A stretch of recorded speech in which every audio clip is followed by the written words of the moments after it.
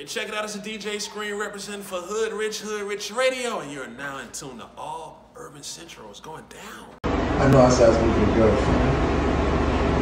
I know I said I was gonna stop beating with daddy. I know I said I was go to rehab. But I was just bullshitting, man!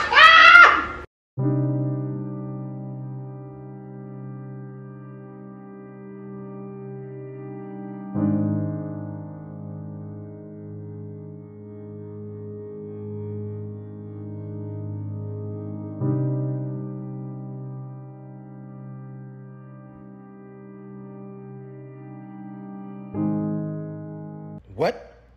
Huh? Hell no, I ain't in that bullshit. You talking about, you talking about no money. You talking about that, dude. You ain't talking about no money. You about it, and you ain't talking about no money. I don't listen to people that I can't learn from. So I don't listen to interviews of artists that don't have no value in what they say. Mhm. I don't listen to music from people that I can't get no game from. Are you the smartest one on your team? definitely not. I might be the dumbest one. People have asked me, "Hey, why you don't come around no more? What, what, what? You too good for us now?" No, that's not it.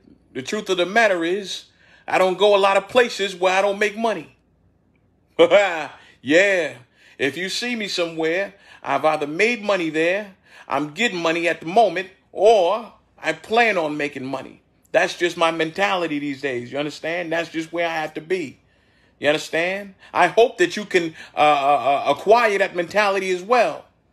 If you see me somewhere and looks like I'm chilling, no, I'm thinking of ways to get to the money. You understand me? Some people even say, well, you're at home about 80% of the time. Well, that's where I make a lot of my money.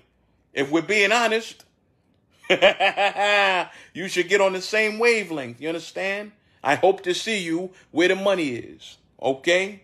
All right.